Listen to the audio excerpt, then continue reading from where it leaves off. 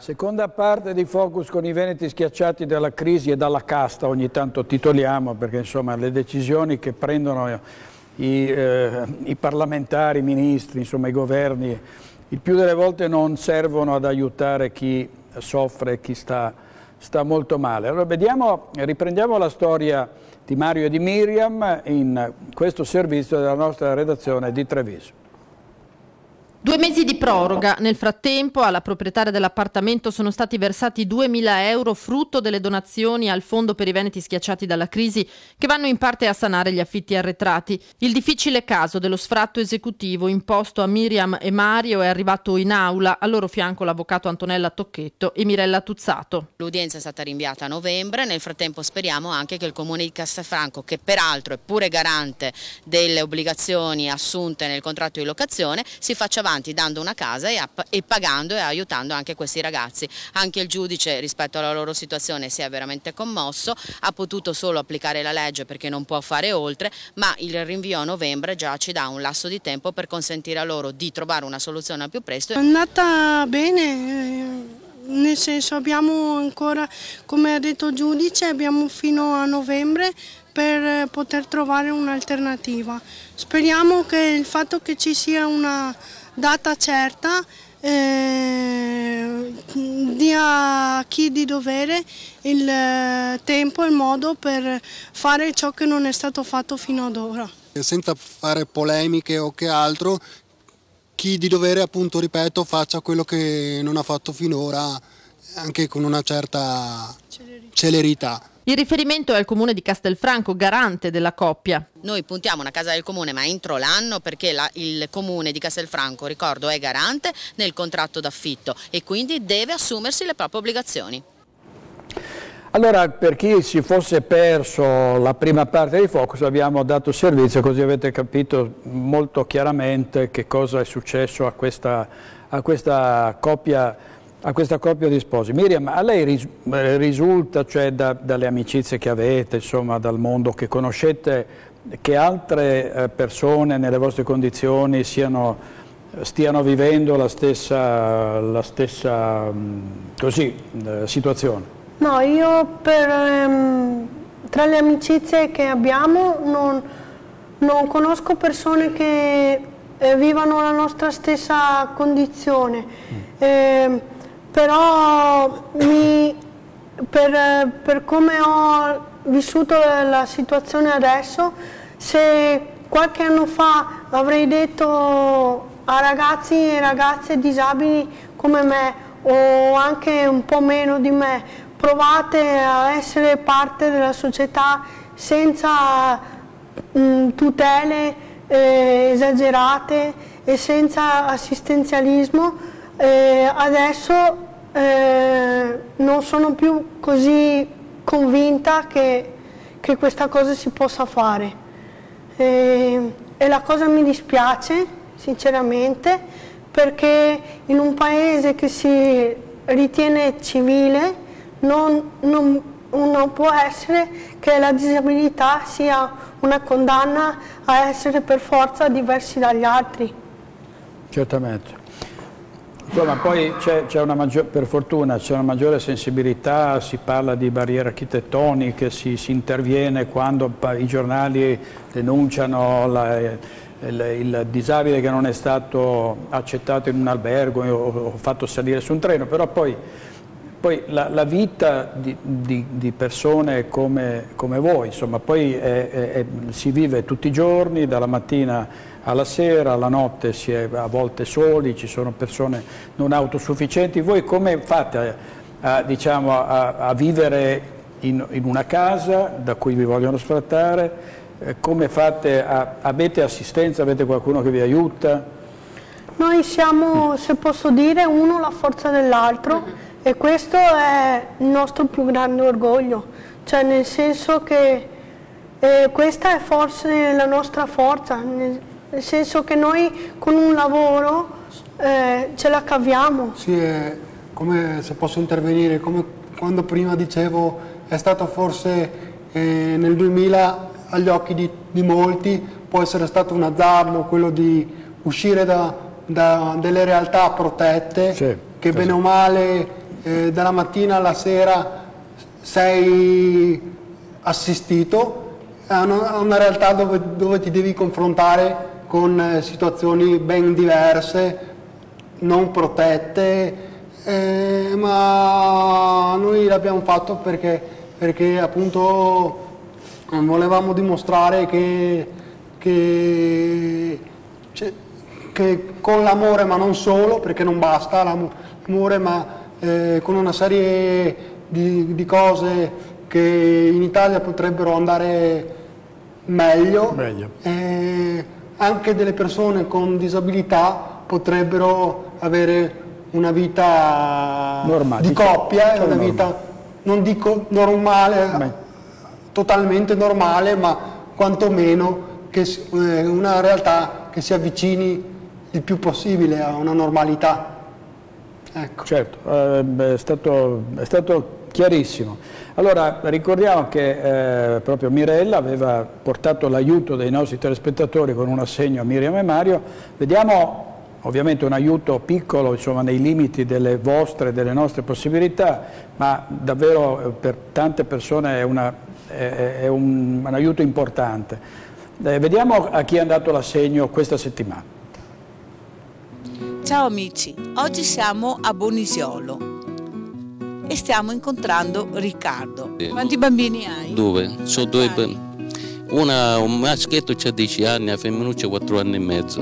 Tu mi dicevi Riccardo che stavi bene, che non avevi problemi sì. finché c'era il lavoro e poi all'improvviso? Sì, 4 anni fa. Lavoravo alla Fingandieri e la Fingandiera poi sono i testenni che hanno chiuso, no? perché fanno contratto a 6 mesi.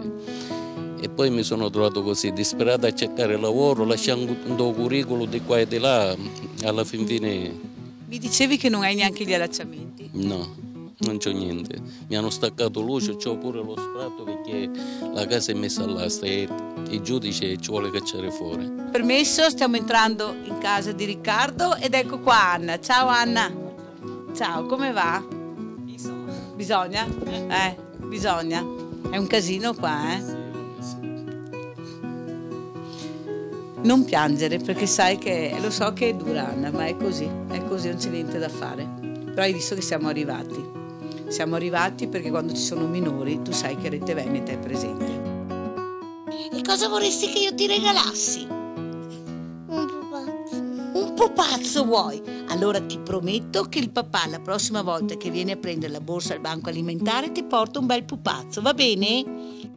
Un no. giocattolo che vorresti avere, dai dimmi.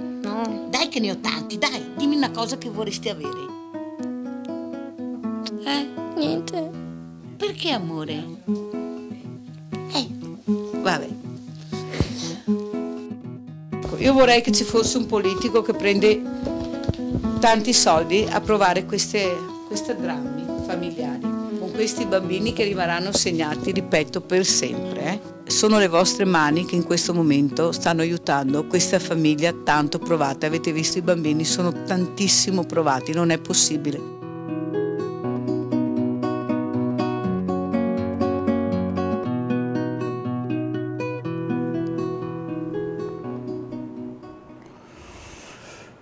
Allora, eh, tantissime sms anche, anche stasera, tra l'altro Avvocato c'era c'era un ministero per la famiglia, le politiche sociali, adesso lei è esponente del PD, eh, noi diciamo sempre che le colpe vanno spartite diciamo, tra tutti gli italiani, ma in particolare tra chi ha amministrato questo paese, Berlusconi, Monti, Letta, potremmo citare gli ultimi sette, otto governi no? per inconcludenza, per uh, incapacità di risolvere i problemi. Però perché non si, secondo lei non c'è un'attenzione anche in questo governo alle fasce, alle fasce più deboli? No? Perché in fondo è un governo di centrosinistra, sia pure con la stampella, con l'appoggio di Berlusconi, no?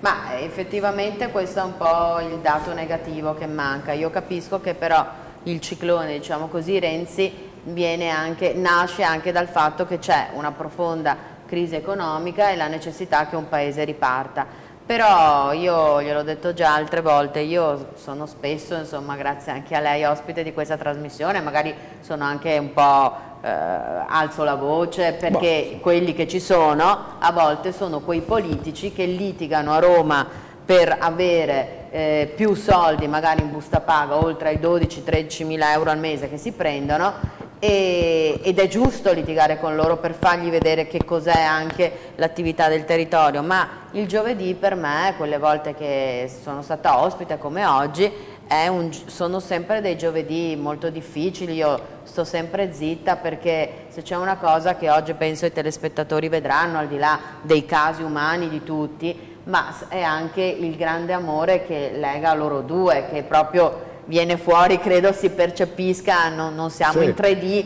ma si possa percepire. e allora eh, invece di litigare per eliminare il Senato sulle norme, eh, diciamo così, che dovrebbero garantire più democrazia, quei soldi che si risparmiano potessero andare a un sistema di welfare che significa, anzi, diciamola tutta, il nostro paese è da sempre stato la guida delle leggi proprio a tutela della disabilità e del rispetto del lavoro. Questo è stato proprio il nostro codice civile, il codice del lavoro ha articoli importantissimi, la nostra Costituzione ha articoli importantissimi a tutela del lavoro e della disabilità, salvo che però i mille soggetti che sono a Roma se ne dimenticano, così come se ne dimenticano quelli che sono in regione. Allora eh, sarà forse anche il caso di dire smettete di litigare a Roma, fate presto queste riforme e tutti i soldi che possono essere risparmiati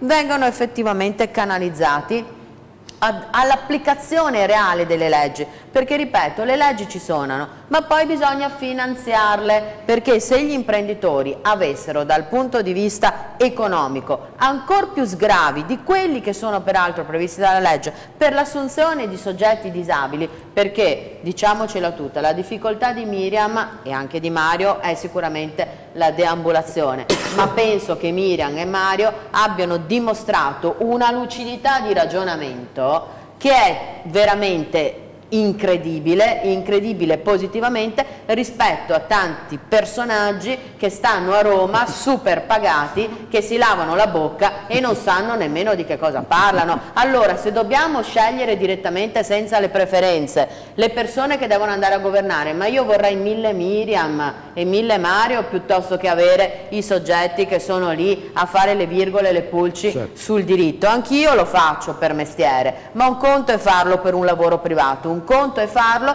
per mandare avanti una società. E allora io mi auguro che insomma dopo eh, diciamo così, le situazioni anche drammatiche che abbiamo visto oggi, ma anche drammatiche dal punto di vista sociale e anche economico, perché oggi diciamo così eh, Renzi ha detto che magari i problemi che dice Cottarelli sono problemi che sicuramente lui risolverà, che gli 80 euro in busta paga ci saranno, ma che l'economia debba ripartire. Io personalmente sono anche preoccupata un po' per la situazione internazionale, perché quello che sta succedendo in Libia è un focolaio molto molto pesante, così come Per insomma non parlare ne- di Gaza e no, Gaza e, Gaza. e ovviamente Israele è un altro focolaio, però io sono anche stata basita che i, mass media eh, nazionali abbiano dimenticato con grande facilità i 200 morti a Kiev. eh. Guardate che anche quello insomma non è certo una bella situazione. Allora la situazione internazionale è pesante, ci sono dei focolai gravi e soprattutto io insomma spero invece che ci sia più pace ma che soprattutto insomma si intervenga dal punto di vista economico. I focolai della Libia poi ricordiamoci anche che aumenteranno le navi e i profughi che arriveranno qua e sulle quali anche l'Italia sarà chiamata ad intervenire. Insomma abbiamo un'estate caldissima pur meteorologicamente freddissima ma io mi auguro invece che che qualcosa si, si riparta, ma riparta anche dal punto di vista economico per poter aiutare tutti loro e anche dare, a- proprio perché le leggi lo consentono, a persone come Miriam e Mario un, un lavoro come ovviamente anche al Signore che è qui a fianco. Però ripeto, oggi veramente l'emozione mi prende anche a me e quando si esce da queste trasmissioni del giovedì è veramente difficile continuare poi eh, sapendo anche che le situazioni di difficoltà sono talmente tante ed è difficile a volte veramente farne fronte. Allora, ieri vi, eh, vi, abbiamo parlato di un imprenditore che ci ha scritto dicendo io ho dei terreni dei, de, della terra um, nel Vicentino sotto i, i colli iberici e vorrei metterla a disposizione di ragazzi che vogliano eh, senza che lui abbia alcun tornaconto, la mette a disposizione perché questi ragazzi possano far partire un'azienda agricola, possano ritrovare l'entusiasmo che si perde quando non, si, non, ci sono prospettive, non ci sono sbocchi professionali. Proprio eh, ieri, tra l'altro, in Regione è passata una legge eh, proposta da Nicola eh, Finco che prevede che eh, la Regione, eh, cioè che gli enti pubblici diano appunto a queste persone dei terreni su cui lavorare. Vediamo, vediamo questo servizio. Il Consiglio regionale ha approvato il progetto di legge relativo alla Banca della Terra. In che cosa consiste? Consiste in un censimento di tutte le aree incolte di proprietà pubblica che attualmente sono di proprietà dei, dei comuni, delle province e della regione. Da una prima stima fatta assieme alle associazioni di categoria contiamo circa 15.000 ettari di terreno che se sfruttati potranno generare quasi 3.000 posti di lavoro. Ecco, come si svilupperà adesso questo progetto? Praticamente adesso nel giro massimo di un anno i comuni dovranno fare un censimento che poi questo censimento verrà registrato all'interno di una banca dati del Consiglio regionale e a breve verrà fatto anche un regolamento che servirà poi per dare questi terreni in particolar modo ai giovani, ai giovani imprenditori agricoli che hanno intenzione di eh, bonificarli, di piantumarli, di renderli eh, fruibili in modo da eh, tutelare quell'ambiente, quella parte di, di terreni che attualmente sono incolti. Chi fosse interessato al progetto della Banca della Terra Veneta, come può fare per aderire? E verrà realizzato un portale regionale dove qualunque cittadino potrà trovare tutti i dati catastali dei terreni disponibili, dovrà compilare un semplice modulo, fare richiesta allora, l'intervista di Filippo Fois, eh, ecco, ha fatto bene Fois a dire cosa bisogna fare, eh, Finco ha risposto, però ci facciamo un nodo al fazzoletto e vedriamo, vediamo tra un anno o due anni se qualcosa è stato fatto, eh, perché non sia la solita proposta interessante, anche, anche toccante, che però poi non ha, non ha, seguito, quindi speriamo che questa cosa poi si faccia veramente. Senta, eh, Pirolo, lei diceva, sì, voleva no, aggiungere io, qualcosa? Io volevo aggiungere che nel 2009 ho perso il lavoro, nel senso che la ditta assumeva gente con la patente C, però io non, non l'avevo e ho provato a farla e non sono riuscito, ci voleva troppi soldi e niente. E su questa casa qua sono andato, sono d'accordo con i titolari, visto e piaciuta, però io vorrei, se è la possibilità, se posso permettervelo di dirlo, che venite a intervistare e vedere come vivo perché insomma c'è muffa dappertutto i muri, mi piove dentro devo mettere i secchi, i topi che mi corrono nel letto, scarafaggi. Ho una caldaia che mi hanno messo di gasolio, che ho provato perché mio fratello lavorava su un'azienda, mi ha dato un po' di gasolio, però non mi sono scaldato. E in cucina dove si mangia una puzza enorme e il gasolio costa anche e così, e su e via così. E vivo in questa maniera qua. Io non è che voglio navigare sull'oro, cioè vorrei un po' fare una vita un po' Beh, certo, una vita decente, non voglio mica miliardi. Cioè una casa come vivevo prima, che prima avevo una paga, pagavo, poi quando ho perso il lavoro, eh, grazie ho fatto la domanda all'Inps a disoccupazione, mi davano 800 euro e 500 pagavo l'affitto perché dicevo se non li pago mi buttano fuori. Certo. e con gli altri pagavo le bollette quando arrivavano basse. Invece dopo eh, cioè, ci guardavamo noi a famiglia e eh, ci chiediamo cosa facciamo paghiamo la bolletta o mangiamo quanti anni ha lei, eh, scusi? Io ho 53 anni, 53. faccio qua in agosto. 53. Ah, mi aveva detto prima che ha cercato altre, sì, fare, io, altri lavori, altre Sì, attività. sì, sì, ma ho fatto eh. tante domande, mm. però niente di... Senta, lo, lo, chiedo sempre a tutti, anche sì, sì, l'ultima volta c'era un elettricista, poi c'era un cameriere, un artigiano. Cioè, eh, lei se la sentirebbe, riesce a, a immaginare di mettersi in proprio, cioè di fare... Ho già provato, fatto, insomma, sì, ecco, allora lo spiego. perché non si riesce a sbarcare il lunario facendo restauri, murature, Ma io ho già provato a farlo, eh. mi sono iscritto anche ai artigiani, questo e quello, però eh, tasse,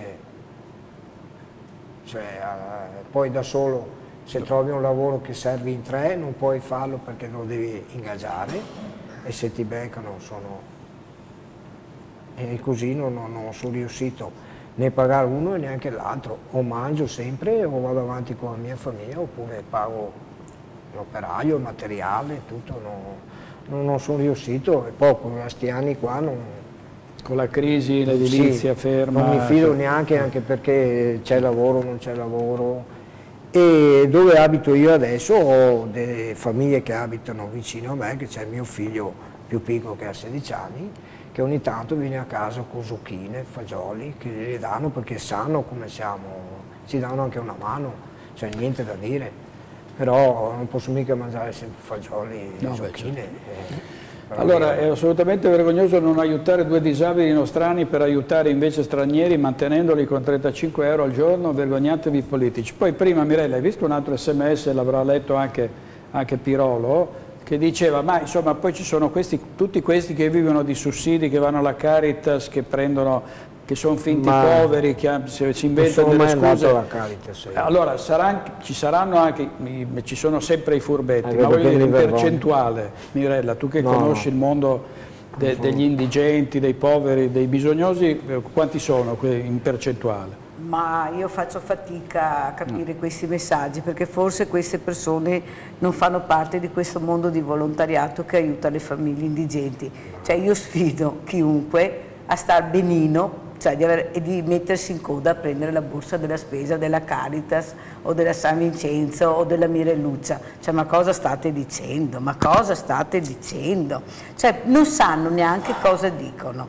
Perché, ripeto, chi va a prendere la borsa della spesa deve portare l'ISE. È inutile che andiamo a discutere sull'ISE, perché è quello che certifica lo stato di salute della famiglia del nucleo familiare. Allora, se vogliamo andare a mettere le pulci sull'ISE, andatevi a prendere col governo, con i CAF, con le associazioni di categoria, con i sindacati, ma non venite a prendere con le persone che fanno volontariato e che danno la borsa della spesa dicendo che non va bene, perché non sanno neanche cosa dicono. Vi posso assicurare che quando uno viene a prendere la borsa della spesa è un indigente e quello che ha il coraggio di scrivere questo messaggio venga a trovarmi per cortesia, così vediamo e gli faccio vedere le persone indigenti. E poi lui mi segnalerà le persone che secondo lui non vanno bene, perché è assurdo, è assurdo di parlare ancora di cose non vere perché oltretutto nessuno fa chiarezza in questo.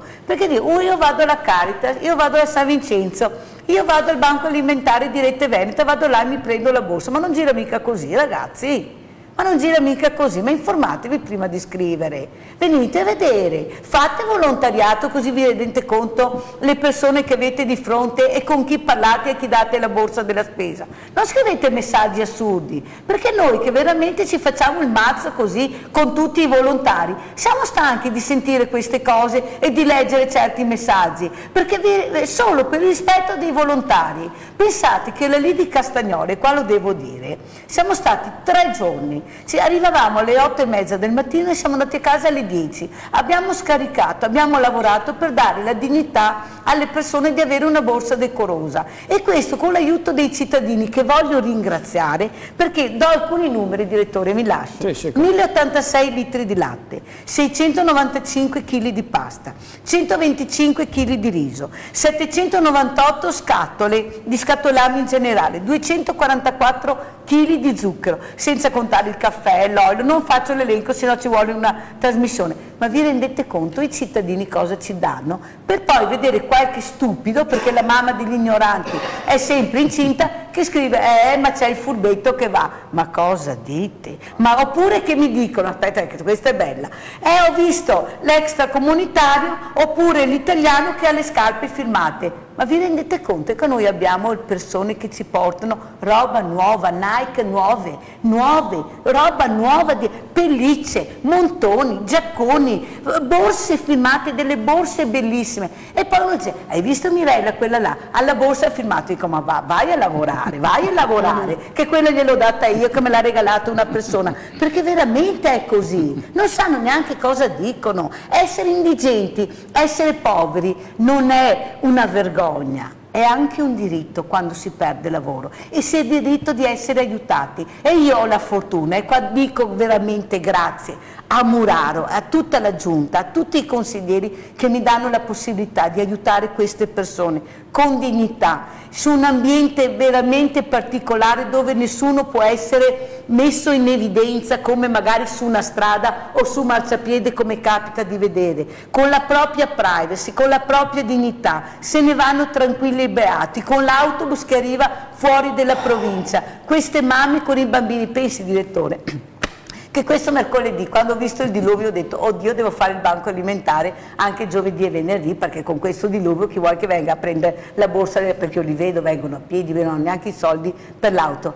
Oh, sono riuscita a dar via le borse, sono venuti tutti, sono venuti tutti. È stata talmente una soddisfazione e l'unica cosa che mi chiedevano era Mirella ma in agosto chiudete? No tesoro, ho detto non chiudiamo mai, il banco alimentare non può chiudere, se no che banco alimentare è? Cioè mica un supermercato che può andare in ferie, il banco alimentare è sempre aperto, l'abbiamo aperto alla vigilia di Natale, lo apriremo a Ferragosto, ringrazio, ringrazio ad esempio la ditta Spolaor di Santa Lucia di Piave che adesso darò un pochino anche a loro, mi ha dato delle fesi di tacchino enormi, perciò hanno anche la carne, ma ringrazio il mercato ortofrutticolo che mi ha dato ma, delle cose bellissime buonissime. Ma tutte le persone che sono arrivate con contributi, una coppia 120 euro ha dato di contributo, ha portato robe da mangiare, pomodori, pere, sono arrivati e ci dicono guardate che ci siete noi. Allora sa cos'è la mia forza? È la forza di Rete Veneta, che noi non abbiamo solo i 30 volontari, come ho detto, del Banco Alimentare, noi abbiamo il Triveneto, abbiamo il Friuli come volontario,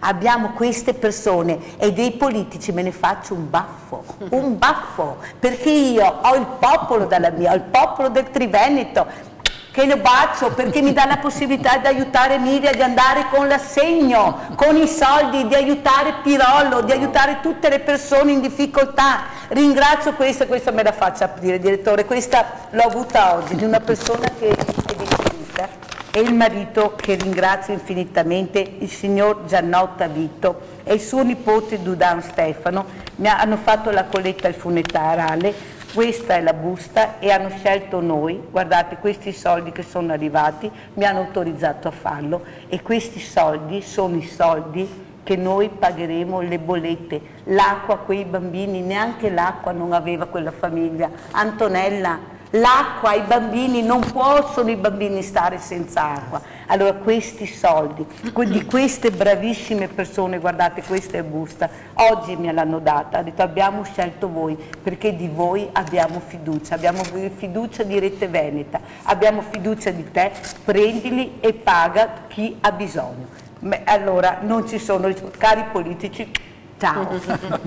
no, devo aggiungere rispetto insomma, a quello che ha detto giustamente Mirella, che, alla quale mi inchino, che giustamente lui ha fatto una battuta dicendo ma guardate che io non vado in giro nei banchi alimentari perché no, io mi perché... vergogno o alla Caritas e noi dobbiamo tener conto che al di là di quello che scrivono in maniera errata, la gente non è che va contenta, cioè la dignità di doversi andare a prendere la spesa regalata è per primo una sconfitta del soggetto certo. che ha perso il lavoro, che non lo trova, che non ha i mezzi eh, di sussistenza, perché dopo è facile parlare a chi sta bene, a chi le, ha le armi per difendersi, ma eh, chi non ce le ha eh, giustamente eh, si vergogna anche a scendere da quell'autobus per quanto sia comodo e tutto quello che vogliamo.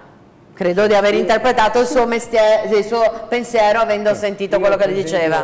Questo inverno, per scaldarmi, allora eh, c'era il comune che tagliava le legna e sono andato a prendermele, che non si può fare.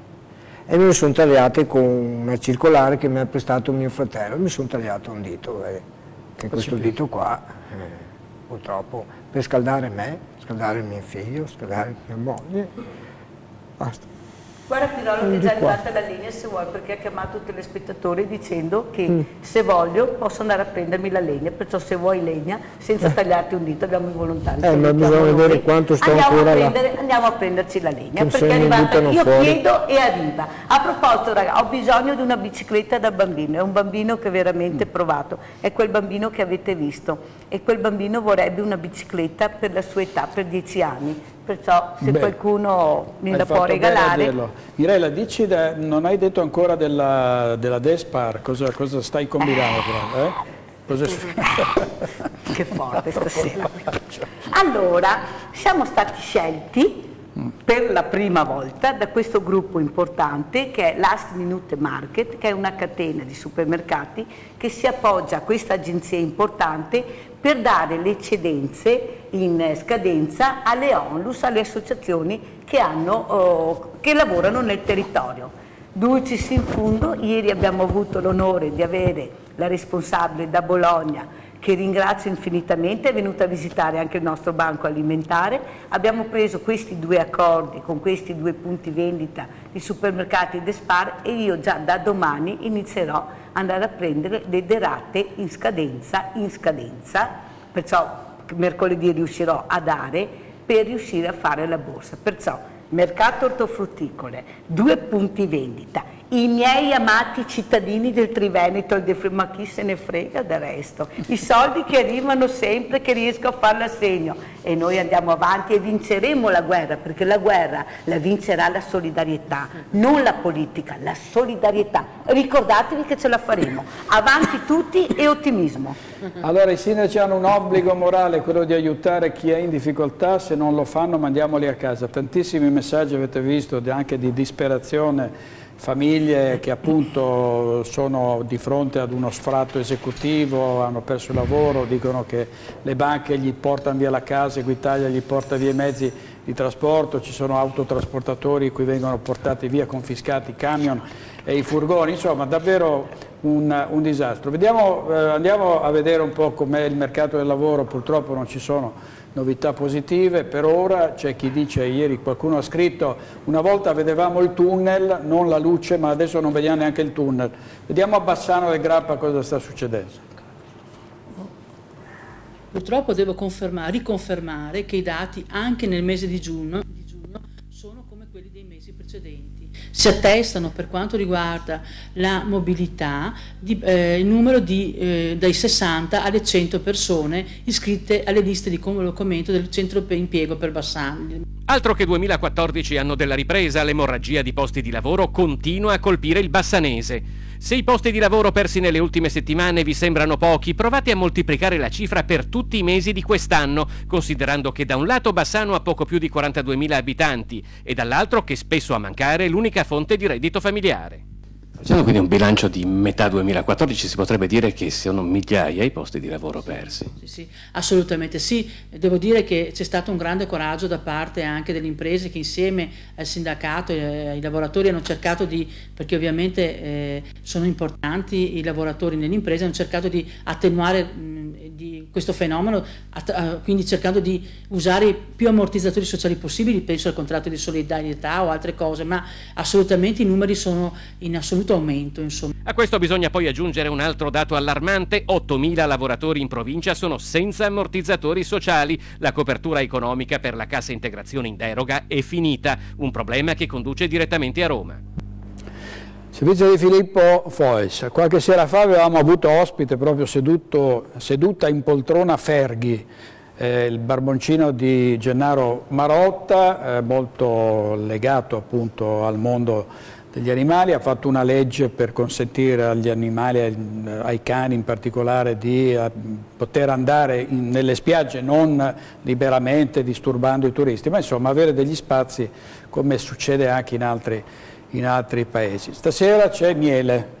Eh? Milli. Ah, Milli, scusa, ho capito Billy. male. Milli, Milli. Eh, Miriam, cosa rappresenta per voi Milli?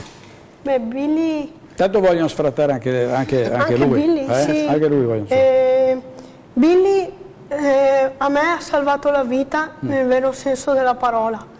Io circa 12 mesi fa ho fatto una cosa che non va fatta e E Billy è per me un aiuto, un, un esempio perché è sempre felice e è la mia gioia.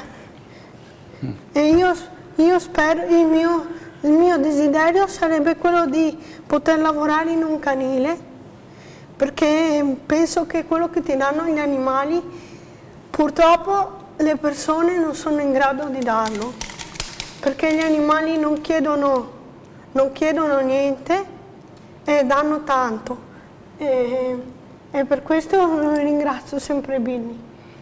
Ma in che senso ti ha salvato la vita? Perché, perché io adesso sto facendo un corso per educatore cinofilo e quindi ho un impegno che ogni settimana vado due, due, giorni a lavorare con Billy in modo che, come potete vedere, Billy si sa comportare in ogni situazione. Cioè nessuno gli ha detto adesso stai, beh, stai buono, stai in silenzio, non gli ho dato nessun comando eppure vedete tutti come sta in studio. Cane molto, edu per molto cui... educato. Sì, però, eh, eh, scusi direttore, sì. però il cane di Marotta è un po' il cane politico, aveva la poltrona e quindi non ce l'ha perché non è politico. No, ma io glielo no, no, non è così, io gliel'ho proposto, ho detto no, se, se qua mi ha detto no, io sto meglio per terra vicino alla mia padrona, non mi rompe, ha detto non mi rompe le scatole.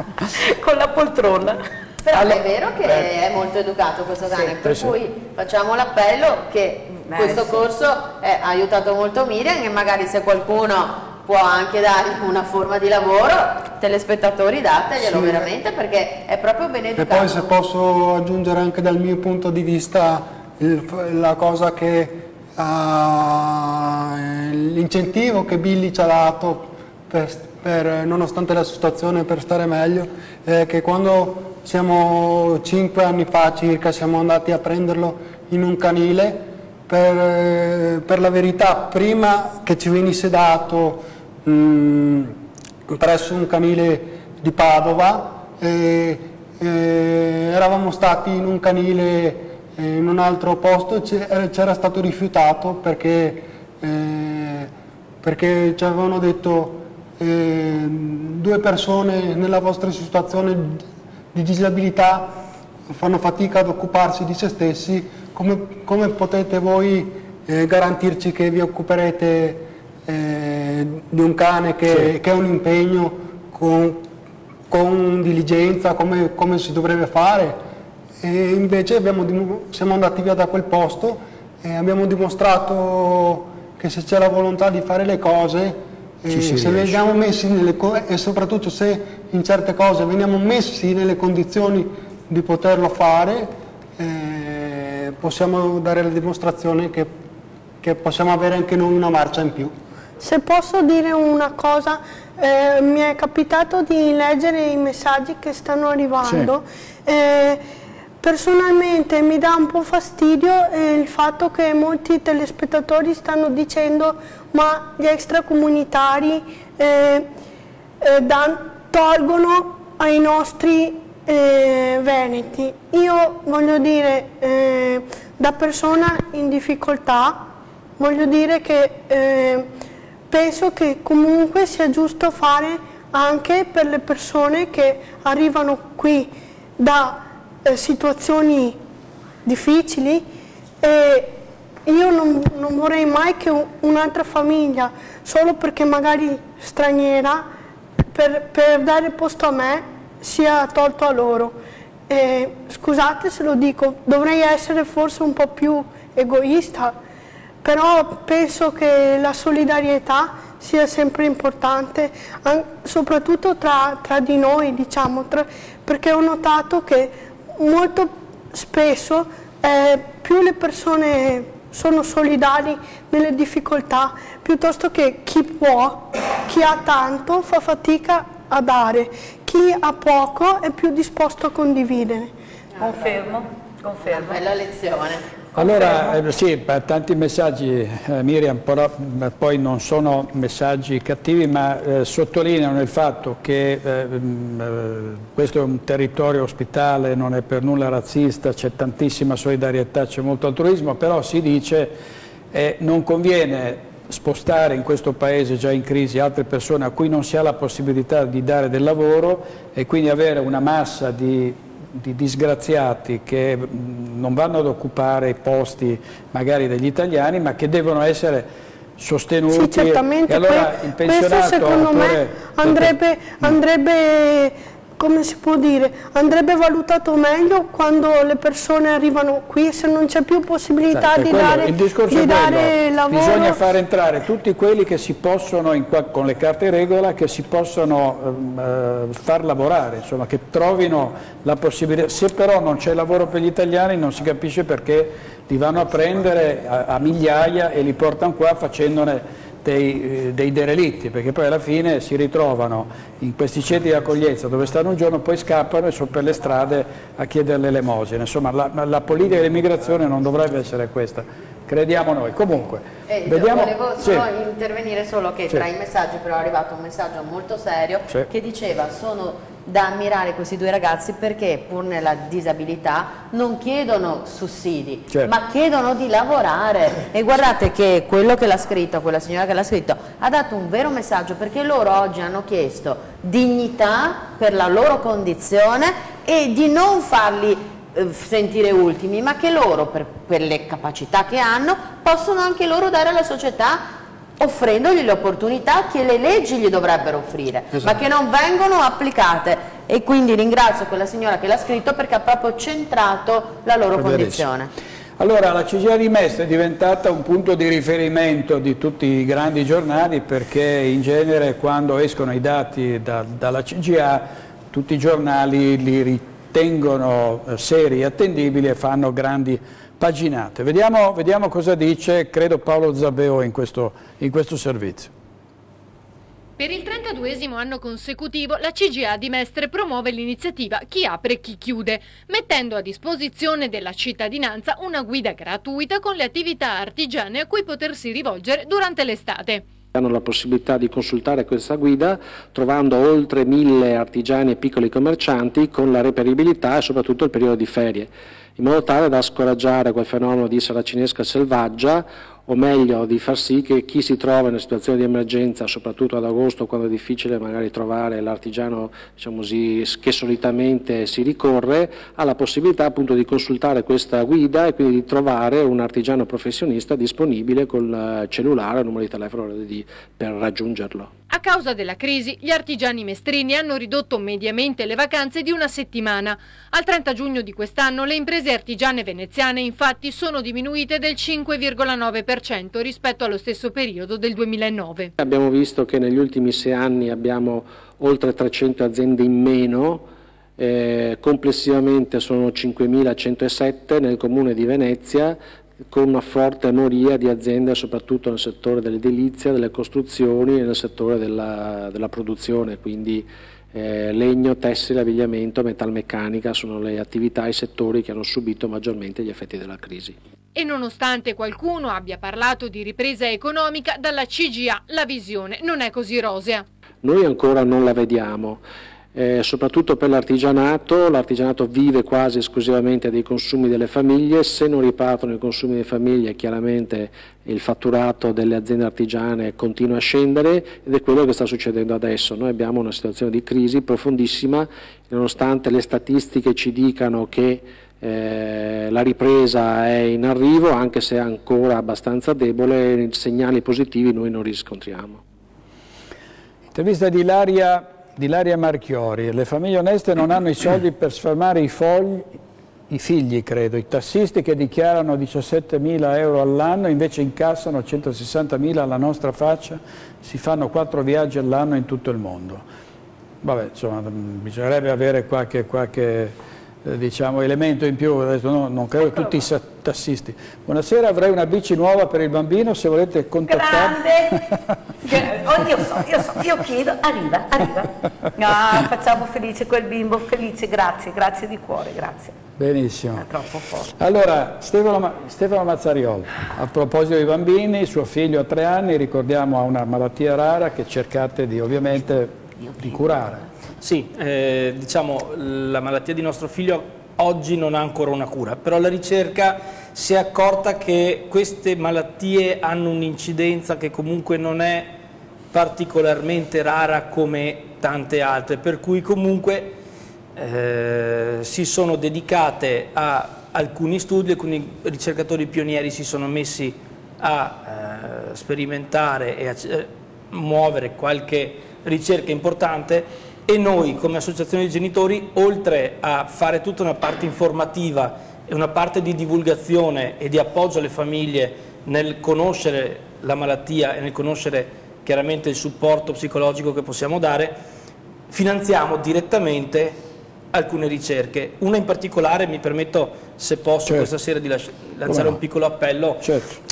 C'è un farmaco sperimentale, lo stiamo sostenendo noi famiglie, con aiuto anche di altre associazioni di famiglie in giro per il mondo e questo farmaco potrebbe, dico potrebbe perché chiaramente è ancora in fase di, eh, di sperimentazione, rimettere in moto il meccanismo di autoriparazione dei muscoli. Eh, questo farmaco ha già superato una prima fase finanziata praticamente interamente da noi per quanto riguarda un profilo di sicurezza. Ora sarebbe importante riuscire a fare una vera sperimentazione di efficacia di questo farmaco. Stiamo raccogliendo dei fondi per farla, prima riusciremo a raggiungere la soglia necessaria, si parla di circa un milione di euro, e prima riusciremo a fare partire questa sperimentazione sui nostri bambini. Eh, noi ci crediamo, ci vogliamo credere e per ottobre a Treviso stiamo per organizzare uno spettacolo teatrale molto importante. Abbiamo una compagnia amatoriale, la compagnia dei genitori sconosciuti si chiama, che ha messo in piedi uno spettacolo musicale teatrale che eh, si chiama Pirati e lo faremo al eh, teatro del, ehm, delle Canossiane in Viale Europa. Sarà il 4 di ottobre, tutto il ricavato andrà esclusivamente al sostegno della ricerca sulla distrofia di Duchenne e in particolare alla sperimentazione di questo nuovo farmaco sperimentale che si chiama Isofen. Noi ci contiamo, tanto è vero che i tre ricercatori che hanno messo in piedi questo progetto di questo farmaco hanno fatto la donazione del brevetto a noi genitori. Ah, e quindi tutto quello che proverrà poi dalla commercializzazione, nel caso in cui il farmaco arrivi alla commercializzazione, che ovviamente essendo di proprietà di noi genitori sarà commercializzato ad un prezzo da genitori, mettiamola così, ma tutti i proventi verranno reinvestiti in nuova ricerca scientifica.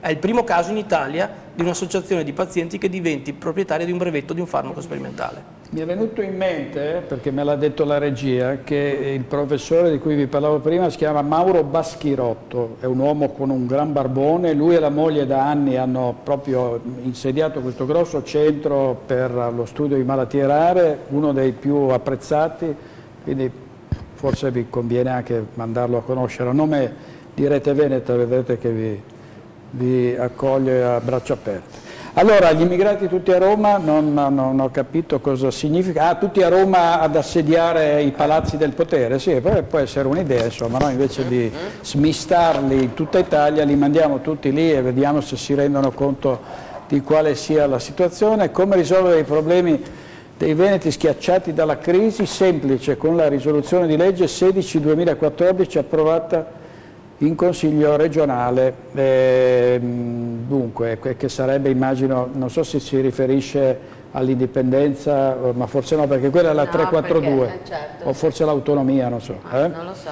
sinceramente. Allora, eh, Mirella, che cosa, eh, che cosa, hai, cosa, bolle in pentola? Eh? Perché tu non, non, stai mai ferma, non, non, eh, gli orti, come, come, vanno gli orti? Perché questo tempaccio qua ti, ti, ti si, è, si è rovinato il raccolto come No, fa, no, non si rovina niente. Come gli agricoltori che guardano il cielo e dicono, oddio santo, mi sa, mi, allora, mi si rovina bello, perché noi abbiamo il nostro orto che è eh, di fronte agli orti sociali che sono coltivati dalle persone e sono incazzati neri perché nel nostro orto sono nate le melanzane. E loro da anni cercano di seminare le melanzane e noi abbiamo già le melanzane che martedì raccoglieremo. Perciò è tutto un sistema, è talmente bella sta roba. E poi abbiamo Renzo, Renzo quello che ci ha regalato, il signore che ci ha regalato il Tosa Erba, anzi lo saluto perché oggi non ne stava tanto bene, che lavora come un pazzo con i pseudo, con questi ragazzi che vengono nei, nel nostro orto, gli insegna a far tutto, loro sono felici. Per questo io eh, stasera che ho sentito il Presidente Muraro, che ancora, ripeto, ringrazio, perché qua è solo questione di buonsenso, qua non c'è politica, qua bisogna capire veramente, vedete come passano le giornate queste persone, queste persone hanno bisogno di aria, hanno bisogno di ambienti, hanno bisogno di respirare. Perciò vedere che c'è questa, eh, secondo me facciamo bella figura tutti aiutare queste persone, perché per anni noi disabili li abbiamo nascosti. Altra bicicletta. Altra bicicletta, grandi, grandi, tanto io bambini ne ho, non c'è problema, ho, abbiamo una famiglia talmente grande di Rete Veneta che abbiamo bisogno sempre di tutto. Però ripeto direttore, è una cosa che io voglio far capire, che questi ragazzi sono meravigliosi, vanno integrati normalmente con le persone. Io sto iniziando a lavorare con l'ULS di Treviso, che ringrazio ancora, perché queste persone sanno parlare e sanno esprimersi benissimo, vanno fatti vedere, vanno intervistati. Basta, basta con queste chiusure perché una persona è disabile, non va fatta vedere. Per anni hanno subito queste cose, per anni le famiglie avevano paura di, di, di, di non far vedere questi ragazzi. Sbaglio Mario? No, no, e perciò il lavoro che stiamo facendo in provincia è un lavoro enorme e ripeto, ringrazio perché io ho bisogno di questi spazi, forse più di tanti altri, perché noi facciamo vedere che facciamo veramente. Quando voi vedete che il disabile tocca la terra con le mani, per lui è una cosa importantissima, tanti non sapevano neanche cos'era un orto, cos'era una pianta, cos'era un animale, perché questa è la verità. Per la prima volta sono a contatto con la natura, con la natura che li ha creati, con la natura, con questi genitori che li hanno tenuti, perché sono ragazzi splendidi. Allora, per cortesia, tutti quanti aiutate la Mireluccia a portare avanti questo importante progetto. Qui invito anche la consigliera Antonella Tocchetto perché fino adesso Antonella, io il sindaco, l'assessore non ho visto, a parte che non è che me ne importi più di tanto, mm, però so. voglio che lo sappiano anche i genitori perché quando ci sono cose importanti così sono molto molto latitanti, ma noi ce ne freghiamo e andiamo avanti. Queste cose mi fanno impazzire, quale paese con i soldi dei suoi cittadini va a spenderli per gli altri invece che per i suoi, italiani svegliatevi che ora anzi è tardi. Prima la legge 16-2014, qualcuno ce l'ha subito ricordato, riguarda, approvata dal Consiglio regionale, riguarda il referendum per l'indipendenza. Ce ne sono due in realtà, l'autonomia e l'indipendenza, stanno decidendo una data, mancano dei soldi, ma insomma prima o poi eh, si, vediamo se si riuscirà a far esprimere un'opinione ai Veneti sull'indipendenza sì o l'indipendenza no. A Padova scontro, come avrete saputo, l'abbiamo detto, ne abbiamo parlato anche ieri, sull'ospedale, se farne uno nuovo, se ristrutturare quello vecchio, insomma grandi polemiche, grandi attese da parte dei cittadini. Vediamo la vicenda del tram di, di Padova, vediamo cosa succede. Vogliamo chiedere a Bitonci di combinare qualcosa, le opere pubbliche devono andare avanti, quelle che servono e ovviamente gestite con oculatezza e nell'interesse pubblico. Dopo l'ospedale la paura è che anche il progetto del tram possa tramontare. Per questo gli esponenti del PD padovano proporranno una serie di emendamenti per cercare di migliorare il bilancio che verrà presentato lunedì dalla Giunta Bitonci in Consiglio Comunale. La fiscalità, con la riduzione per tutti dell'IRPEF, è uno dei temi che più interessano i democratici, che se da un lato si vedono concordi con l'amministrazione sulla necessità di riduzione della pressione fiscale, pensano però che così come è stata proposta non vada bene. Proporremo al contrario di aumentare la soglia di esenzione del pagamento dell'addizionale IRPEF in modo da esentare la metà dei padovani. Anche i tagli preoccupano i consiglieri di minoranza, soprattutto quelli al sociale e alle scuole, una riduzione superiore a quella che aveva messo in atto la precedente giunta, soprattutto a cultura e polizia locale che secondo gli esponenti di via Beato Pellegrino tocca quote rispettivamente di meno 5,8% e meno 4,54%. Come se non bastasse, è pure mancato il dialogo nelle commissioni, dice Claudio Piron, non siamo riusciti a confrontarci con l'amministrazione. Perché purtroppo il bilancio verrà approvato lunedì prossimo senza avere fatto un incontro di commissione. Le commissioni della scuola, le commissioni del sociale di cui io sono membro, nella commissione scuola sono pure vicepresidente, non mi è mai stata data comunicazione delle scelte che il Comune farà. Servizio di Francesco Rattai, ieri eh, che c'era qui Vittorio Zanini che insomma sul, su, sulle opere a Treviso ne ha, ne ha dette di tutti, di tutti, i colori, però certo in un bilancio comunale ci sono interventi che a volte eh, come quello di Venezia sono ormai 200 milioni spesi per, un, per il tram chiamato desiderio, nel senso che c'è chi lo desidera ma ancora non si vede, insomma, ma, se ne vede solo un pezzettino e tutto il resto allora, io non conosco la situazione di Padova e non entro nel merito di quello che tra l'altro anche i colleghi del PD hanno detto. C'è però da dire una cosa che vado molto a Venezia, la frequento per questioni di lavoro e a me vedere intanto il Ponte della Libertà ridotto nella sua strada per, per il passaggio di questo tram che mi pare debba ancora passare, sì, non ancora che non è ancora passato e che effettivamente rende anche la strada molto pericolosa, soprattutto se ci sono tante macchine, se c'è qualcuno che sorpassa. Mi pare che a Mestre non abbia funzionato così tanto, allora io ho visto buon, delle buone corsie di trama, ma le ho viste a Berlino, cioè nelle grandi capitali europee dove anche l'intervento pubblico sui mezzi di trasporto è completamente diverso. Io non, non, conosco, ripeto, la situazione di Padova, ma come quella di Mestre mi sembra che forse il tram sia un, un, uno dei soldi, diciamo così, un po' spesi e buttati via per non dire dell'Ovovia, perché anche l'Ovovia del ponte di Calatrava, allora là sì ci sarebbe da aprire un argomento pare che sia costato solo di manutenzione 2 milioni di euro, mamma. che sia funzionato due volte, di cui una, una famiglia, una mamma con un bambino è stata chiusa un'ora e mezza. Allora, le opere pubbliche sono veramente sempre contrastate, noi da poco abbiamo votato eh, l'ampliamento dell'ospedale, anche in Consiglio Comunale è stata una battaglia piuttosto complessa, però a volte anche queste opere pubbliche pensiamoci bene perché al di là delle tangenti alla Mose a volte forse sono non solo poco funzionali e solamente estetiche ma sicuramente non, magari non servono perché i signori come Miriam e Mario, e Mario. Ricordiamoci che nel 2014 non possono andare a Venezia perché Venezia è una città che non permette ai disabili di andarci. Di allora, se nel 2014 non abbiamo ancora la possibilità di, di, portare delle persone disabili a fare un giro su Venezia, io penso che su, sulle barriere architettoniche dovremmo intervenire piuttosto che sui tram o sulle ovovie che non servono a niente, sono una fonte di soldi buttati al vento senza aiutare invece le famose barriere architettoniche di cui anche a Treviso ne è completamente assente e sul quale il Comune di Treviso, almeno su quella cosa lì, sta cercando di presentare un progetto serio.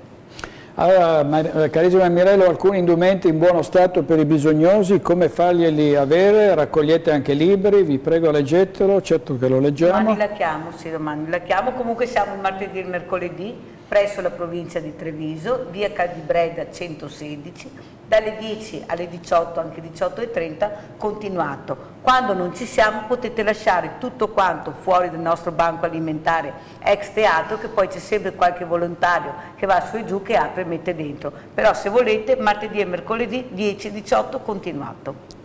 Allora io non accetto di farmi il mazzo ogni giorno per poi vedere che con le mie tasse invece di aiutare l'Italia si va a aiutare il primo che arriva, non lo accetto, leggiamo gli sms per nostri, anche per i nostri amici non, non vedenti. Eh, siamo quasi arrivati alla fine, Miriam, allora mh, mm, cosa, cosa, succederà nei, nei prossimi giorni, cosa farete? Eh noi continueremo ad andare avanti come, come abbiamo fatto finora, cercando di essere il più po positivi possibile, anche se non è, non è, poi così semplice. Però siamo arrivati fino a qui e, e andiamo avanti.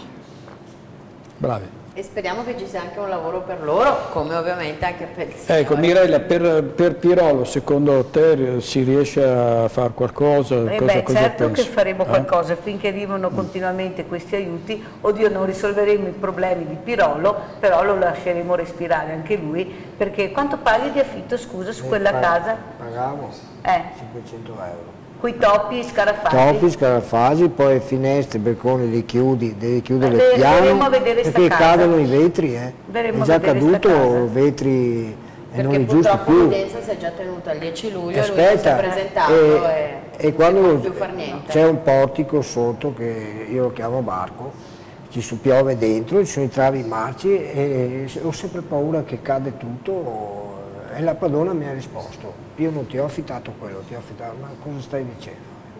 Mi ha affittato tutta la casa, ti ho chiamato dieci volte che mi piove dentro, che devo mettere i secchi, Ti metteremo sulla Ovo Via, te lo prenderemo in affitto la Ovo Via, Quella di Venezia. Eh, quella di Venezia, perché invece della monorotaio la chiamo Io- schifo rotaia, perché è proprio un insulto, e poi vediamo le situazioni perché le grandi opere. Mi ricordo a Venezia, quando fu inaugurata l'Ovovia, polemicamente, eh, Matteo Secchi e i ragazzi di Venezia.com andarono vestiti da sci, no? tutti col berrettino di lana, gli sci in spalla, le racchette, insomma, e le sciarpe, e fecero una, così, un po' di cagnara davanti a questa Ovovia eh, davvero inutile e, e troppo costosa per quanto, per quanto si è visto. Allora, eh, 23 in punto, adesso partiamo con i nostri telegiornali, vi mh, eh, invito a seguire perché sono pieni di informazioni ovviamente locali, del territorio, le città, i nostri paesi, la gente, il Veneto, eh, tutti coloro che hanno problemi devono denunciare di servizi attraverso Io chiamo Rete Veneta, insomma tanta,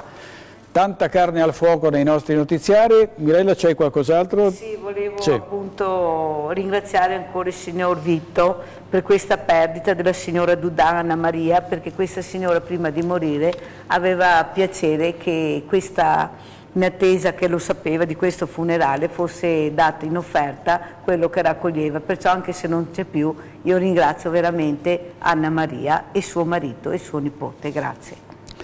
Grazie davvero, 2301, buonanotte, ci vediamo domani sera con Roger Demenec, segretario regionale del PD, c'è Luciano Sturaro, il parlamentare della, della Lega Caon, altri ospiti, una virologa molto eh, importante che ci racconterà ancora cosa si può fare per prevenire queste infezioni. Grazie a tutti, buonanotte, arrivederci. Buonanotte. Ciao e grazie.